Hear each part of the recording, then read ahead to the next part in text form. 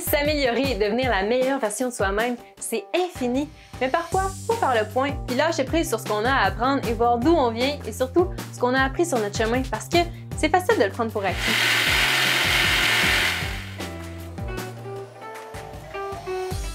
Mais pourquoi pas s'arrêter et faire une récapitulation des leçons qu'on a apprises? Ça nous permet ensuite de repartir sur une fondation plus solide, plus structurée et mieux organisée. Je vous invite donc dans la mise au point de mon Odyssée, avec laquelle je vous ai créé quelques immersions de sujets passionnants. Allô? Hey! Y'a quelqu'un? Oh non! Voyons voir si vous êtes curieux et si vous pouvez ajouter une de ces nouvelles aventures à votre bucket list ou qui sait, peut-être que vous avez déjà exactement le même bagage que moi. C'est ce qu'on découvrira dans Coquette concrète.